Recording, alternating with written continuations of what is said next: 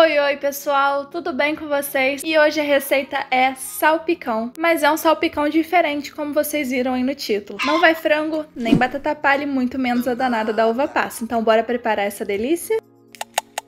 E o nosso salpicão é muito prático, ele vai apenas quatro ingredientes. Você vai precisar de um pimentão bem grande, uma cebola grande ou duas médias, mais ou menos aí uns 150 200 gramas de presunto. E a quantidade de maionese que eu usei nessa receita foi de 250 gramas, meio potinho daqueles que a gente encontra no supermercado. E aí ele ficou bastante cremoso, mas se você gostar menos cremoso, coloca menos maionese. E esse salpicão é tão fácil, mas é tão fácil de fazer, gente, que 90% do preparo dele é só de cortar. Então aqui eu cortei o pimentão ao meio e eu vou tirar essas partezinhas deles que são mais grossas, porque a gente não quer isso no nosso salpicão. E tira a semente também. Daí eu parto ele ao meio e vou cortando em tirinhas. E tenta cortar bem fininho, hein, gente?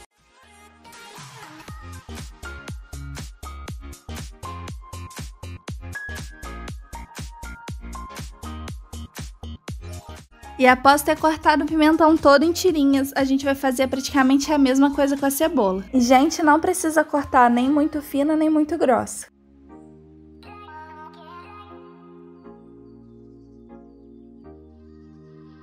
Agora em uma panela com a água já fervendo, você acrescenta uma colher de sopa de sal e coloca primeiro o pimentão para cozinhar. E aí só depois de uns 3 minutinhos a gente coloca a cebola porque ela é mais fácil de murchar. Daí a gente vai cozinhar um pouco essa cebola para ela não ficar com aquele croque-croque e não dar aquele bafão de onça de ter comido uma cebola crua, né, gente? Porque ninguém merece.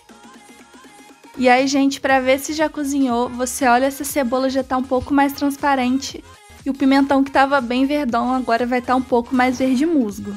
E depois de já ter cozinhado, eu escorri bem e agora eu tô colocando água fria para parar o cozimento. Eu deixei o pimentão e a cebola secando para o nosso salpicão não ficar aguado. E agora a gente corta o presunto e a gente corta ele em tirinhas também.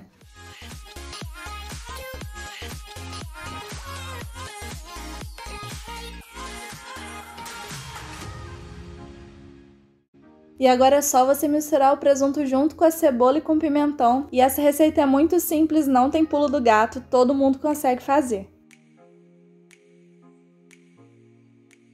E por fim é só adicionar maionese e não coloca ainda tudo, vai colocando aos poucos e vendo aí qual que é o seu agrado. Só lembrando, gente, que essa não é uma maionese caseira, eu comprei ela no mercado. Então, se você não for fazer sua própria maionese, compre uma marca boa, de boa qualidade, para não estragar sua receita, hein? E em breve vou trazer uma receitinha aqui muito especial de maionese caseira que vocês vão amar.